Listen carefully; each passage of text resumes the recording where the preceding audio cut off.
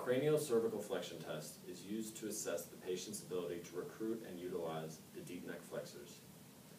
While supine, place a blood pressure cuff beneath the lordotic curve of the patient's cervical spine. I suggest handing the patient the sphygmomanometer so they can assess and observe maintenance of the proper pressure range. Inflate the blood pressure cuff to twenty millimeters of mercury to begin the test.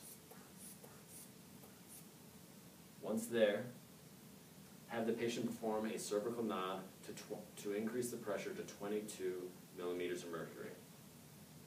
Maintain this position for ten seconds.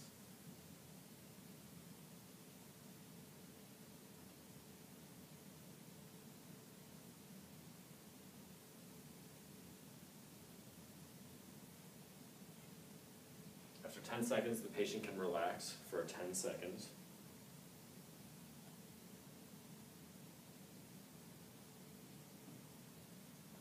Next, have the patient repeat the cervical nod, increasing the pressure to twenty-four millimeters of mercury.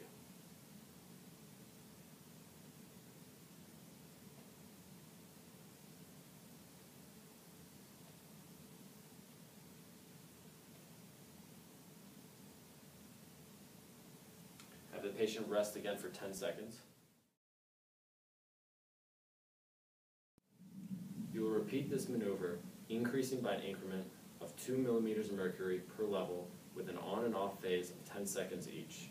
The test continues until the patient achieves the thirty millimeter mercury level or until failure of the test. Failure of the test occurs when the patient recruits the superficial neck flexors, which include the hyoid muscles, the platysma, or the sternocleidomastoid.